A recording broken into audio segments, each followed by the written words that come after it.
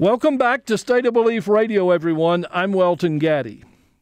Greg Palast is a New York Times best-selling author and an investigative journalist who has been covering voter purges across the country for the past several election cycles. Uh, we've talked with him on this show before, as you well know. His explosive new report for Al Jazeera America aired in two parts earlier this week – and I am very happy to have Greg back with us on State of Belief Radio. Greg, welcome back. Glad to be with you again. What little media attention has been paid to voter suppression has focused on the voter ID laws as passed in Texas and elsewhere. So please talk about what you've found and how far reaching what you've found is. Well, what we found is something ugly. Uh, we spent six months, and I had a whole team crossing the country, as I did, to find out, to dig into something called interstate cross check. The claim is that uh, millions, in fact, that there are three and a half million voters who have illegally voted twice in the same election, but in two different states. Now, that's quite a crime wave because uh, voting twice, two states, is is a felony crime, and you get two to ten years prison for such a for pulling off a stunt like that. So, are there really? I had a simple question: If there are three million illegal voters, how come you haven't arrested them? What? Who are these people? Mm-hmm. And we spent months trying to get the lists out of these states' hands. It turns out, and here is also something a little suspect: of the 27 states involved in this cross-check program, 24 are controlled by Republican elections officials. This month, we finally broke through about a month and a half ago and got the actual list. I got 2.1 million names of supposed evil double voters who are stealing the election. And the, as it turns out, as it turns out, this list is nothing but a list of common names. The only thing that matches people, the only thing, no social security number match, no middle name match, no date of birth match, even though it was advertised as, uh, as matching those things. The only thing is first and last name. So you end up with a lot of people named David Lee, Joseph Washington, um, Mr. There's a lot of Chungs and Jacksons and Kims on there. Basically, by using common names, they are taking out the voters of color. You're talking about black people, Hispanic voters, and Asian Americans because according to the U.S. Census, a voter of color is is 80% more likely to have one of the thousand common names in America. The census gives us a breakdown by name, the ethnic breakdown of every name. If there are 86,020 John Jacksons in the United States, but according to this thing, that would mean that, that one guy named John Jackson voted 86,000 times. That's literally how this list is put together. It would be laughable. It would be slapstick if it didn't mean that millions of people are in the process of losing their vote. 41,000 people have already lost their vote in the state of Virginia, mm. and that's one of 27 states. Greg, I, I want to be dead certain that I'm understanding this and that our listeners are understanding it. You're saying that the charge that has caused panic about double voting is false, and it is a pretense used in order to clean names from voter rolls that will deny people to vote who have a right to vote. Yes, that's exactly it. And and in fact, by the way, to find out if you are a double voter, if you are uh, uh, on the lam from the uh, double voting police, you can go to aljazeera.com, look uh, in the uh, article that I wrote by Greg Palast. Uh, halfway down, there's a box. Mm-hmm. Stick your name in there, first name and last name, and we have a million names from Georgia and Virginia, and see if you are one of the double voters. Mm. And all you have to do to be nailed as a double voter, to have your right to vote put at risk, is to simply have a common first and last name. And, and they know they know when they do this that they're going to get the John Jacksons who are African American and the uh, and the uh, Asian Americans uh, are really very much at risk. Okay, if we didn't have people's attention when we started this interview, we, we certainly have it now. So, say again, who's behind this double voting panic? Well, you've got the, it started with the Republican Secretary of State Chris Kobach, who's kind of the Katherine Harris of 2014. He has said um, on television again and again that there are double voters, people voting twice in two states. He says really easy to catch them but they haven't. You know, Obama won't doesn't want to catch them because they're his voters, and that's true. If you look at this list, it's overwhelmingly Democratic. That's because, by the way, black people tend to vote Democratic overwhelmingly. Hispanics two to one Democratic, and Asian Americans. Most people don't know this. Vote three quarters, three out of four Asian Americans vote Democratic. So if you go after Asian Americans, you're going after Democratic votes. It's, it's, so while it's ugly in racial, the ultimate goal obviously is partisan. Now, I am not. I don't care which party wins. It's not my job. I I've done uh, exposés on lots and lots of Democrats and Republicans, but clearly this is this is something which is uh, ugly partisan flavor, especially because it's using race. And they know. I was in the office of the Asian American Legal Defense Fund in Atlanta, Georgia. And there happened to be a gentleman in his 80s named Mr. Kim, which is not surprising for Koreans. Um, and we found his name, Soo Kim, on the double voter rolls. Soo Kim is very much like John Smith in America, in in uh, among white voters. Mm-hmm. Soo Kim found his name, and he was absolutely upset, absolutely livid. Not because his name was there, because he says so many Koreans are named Soo Kim. It's the most common name in Korea. Hmm. And when they come here, they keep the name. And they and he said, what upset him is that they have my social security number. Can't they see that the other person doesn't have my social security number? Yeah. I said, I know that. They know that. They have advertised this. They have a PowerPoint presentation which in which they advertise that they use social security number matches. So everyone thinks, oh well, this is very sophisticated. They're not going to get innocent people. Inside the actual instructions for removing voters. It says where we have social security numbers, they don't have a lot, where we have them and they mismatch, the voter still remains on the double voter list. So mm. even when they know they've got the wrong person, the wrong social security number, but of course you're talking about people of this on this list, a million and a half voters that are supposed to be the same person have mismatched middle names. So you have all these, you have millions of voters who are changing their names to vote a second time in another state. Greg, what happens to a voter who's on this list when she or he walks into the polling place next Tuesday? Ah, well, in different states it's different. In some states, they will find that their name is removed, and they will be then uh, given a um, an app a what's called a provisional ballot.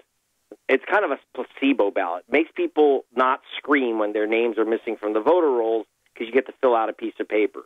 But provisional ballots, if a race is tight, they're almost never counted mm-hmm. because your name is or isn't on the voter roll. The only thing that they check is was your name on the voter roll or not, not whether you were removed unfairly. That's a big problem. The other reason, by the way, anyone listening boy, oh boy, you better vote because in states like Georgia, if you're on this double voter list, and I want to remind you, if you're if you're a member of a minority uh, group, the chances one in seven your name is on this double voter list in Georgia. There's a half a million names on it in Georgia, half a million. If your name is on the list, you are given, you are put down as what's called an inactive voter. Now, what does that mean? It's just a it's a term that they use saying you don't vote, even if you have been voting. If you miss this midterm election, if you don't vote early voting, absentee, or by Tuesday, you lose your right to vote in the presidential race. So you hmm. actually, even if you're on the list, you will have the right to vote Tuesday. But if you miss voting Tuesday, you don't get to vote for president in 2016. It's very subtle, it's very brilliant, and it's huge. So if someone finds out that they're on this list, as you've said that uh, they can. Yes, they can. What what what should they do before they go to the poll? Is there anything they can do? Well, the, if you're in Georgia, get to the polls and vote. It will restore your right to vote. Um, they're not knocking off all voters on the list. They're knocking off 10 to 20 percent, which of course means three quarters of a million to a million people because there's 7 million names altogether. So it's a big purge, but you can save your own vote if you simply, in Georgia, if you vote. In Virginia, you may get 41,000 people have simply been erased. So you show up, they don't have your name. Please insist on your uh, on your ballot. But what I would do is I would check online to see if you're. First of all, check online at aljazeera.com, middle of the article, see if you're on the list. If you are on the list, please contact your county voting officials immediately and tell them I did not vote in two states at once. I see my name here, and my name is missing from the voter rolls. Uh, I, I need this. Um, uh, please restore my name. You can also go to your county uh, board of elections uh, or state the Secretary of State's website. Type in your name. Almost every state allows you to look and see if you are an active voter permitted to vote. If you aren't, you got to re-register and you got to contact these people and scream bloody murder. Hmm. In some cases, your vote can't be saved. In most cases, it can be saved simply by the act of voting itself. But if you miss this race, I'm telling you, you're going to not be able to vote for president. That's what's so insidious about it. Mm-hmm. And again, they are targeting black vote. And by the way, the one of the things that they're targeting very big is uh, we found that the number one cluster of, of evil voters, evil double voters, supposedly, is at Dr. Martin Luther King's old church, the Ebenezer Baptist Church. And according to the cross check records, in a building of senior citizens next to the church, um, all African American residents, uh, that there are 10 double voters. 10 people are committing the go to jail crime of voting twice in this uh, senior home next to the uh, Dr. King's church. I went into, they let me go into the home and find these so called double voters. And I found a Mr. Naylor, uh, knocked on the door. He had a Bible open on his table. And he put his hand on the Bible and said, I swear I have not voted in two states. And he said, by the way, he had filed a sworn and witnessed statement, which he sent to Louisiana saying, I am not voting in Louisiana. I'm only voting in Georgia. Please take my name off the Louisiana voter rolls or, or get my name off this list. He actually went through this whole rigmarole just to make sure that he could vote in Georgia. Mm-hmm. And it is the whole point is that they're trying to stop what is called because they're they're aiming at voters. They're very upset that the churches are bringing voters to the polls on the Sunday uh, on the Sundays leading up to normal election day Mm-hmm. in early voting. The souls to the polls operation, where people leave from church and bus vans. I've gone in these vans. Um, has actually produced a higher turnout. Uh, you have a higher percentage of African Americans voting in states like Georgia than white voters. Mm-hmm. Greg, and because people are going from church. Let me let me ask you this. I uh, uh, I, I certainly do not doubt in in any way the uh, the racial component you're mentioning here, Yes. um, because we've seen that in other elections in other ways. But for a person who is skeptical, who Yes. asks, "Is this an issue of discrimination against race or is it a discrimination against party? How, how do you answer that question? The answer is both. They're using race as an easy way. That when they do common names, they know that they're going to get the minority voter. Mm-hmm. When they don't, when they ignore a mismatch of middle names, when they ignore junior senior differences, when they ignore social security numbers, they know that they're going to capture millions of minority voters. And they know if they capture millions of minority voters, and this is the first attack, by the way, on the Asian American voter, that they're going to capture an awful lot of Democrats. That's just a fact. Yeah. So it may be that their intent is not eliminating the uh, Asian voters or uh, African American voters. Their intent is to eliminate Democrats, but they're doing it through the ugliest means. The, there's another way to um, get to change the vote, and that's to convince the uh, African Americans and Asian voters that, that you've got the better candidate. but apparently, that's not as effective as simply stopping them from casting yeah. their their vote. Greg, I want to also, before we get off, uh, I want to talk about the challenge that this sets in front of us. What you've you've worked at this doggedly and uh, steadily and academically. What's the prescription for future elections in light of these kinds of attacks? We have to have a commitment in the United States of America to the right to vote. Dr. King started the Voting Rights March 60 years ago, and just because the Voting Rights Act was signed a half century ago doesn't mean that the battle is over. The Supreme Court has removed the most important segments of the Voting Rights Act. We have to make the decision that everyone in America votes and get rid of the accusation that um, that people of color, especially, um, vote illegally. They, if you don't make them show an ID, that they're going to steal someone's identity and vote for them. That they're voting in several states at once. Uh, that they have criminal records which prevent them from voting, but these uh, these convicts are going to flood the voter rolls anyway. Um, they don't care if they go back to jail for voting again.